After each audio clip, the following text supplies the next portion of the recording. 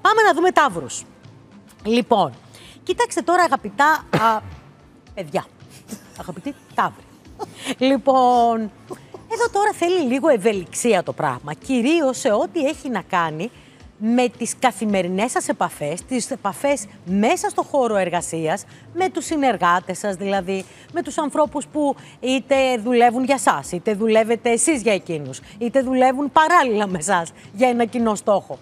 Είναι μια εβδομάδα που θα πιέσει αρκετά σε αυτό το κομμάτι και θα πρέπει να είστε κι εσείς λίγο ευέλικτοι. Γενικά το κομμάτι ευελιξία νομίζω είναι το μόνο που μπορεί να μας βοηθήσει όλους, ανεξαρτήτως ζωδίου, αυτή εδώ την περίοδο. Αυτό εδώ το φθινόπωρο που ξεκινά ουσιαστικά από αύριο. Τυπικά ξεκίνησε τον 1 Σεπτέμβρη, ουσιαστικά με την φθινοπορεινή ησημερία. Τι σημαίνει αυτό; Σημαίνει ότι μπορεί μπροστά μας να βρίσκουμε διάφορους τείχους.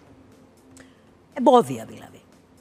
Αυτό δεν σημαίνει ότι πρέπει να παίρνουμε φόρα και να πηγαίνουμε πάνω να χτυπάμε. Πες τα Όχι. χρυσόστομη. Πρέπει να ψάχνουμε να βρούμε τη διαφυγή από που θα είναι. Θα είναι κάτω από το εμπόδιο. Πλάι, κάτω από το εμπόδιο. πάνω. Στο πλάι. Αυτό τι σημαίνει, ευελιξία. Και το λέω στους Σταύρους γιατί γενικά δεν φημίζονται πολύ για το κομμάτι αυτό της ευελιξίας. Πρέπει να είστε λίγο πιο ευέλικτοι.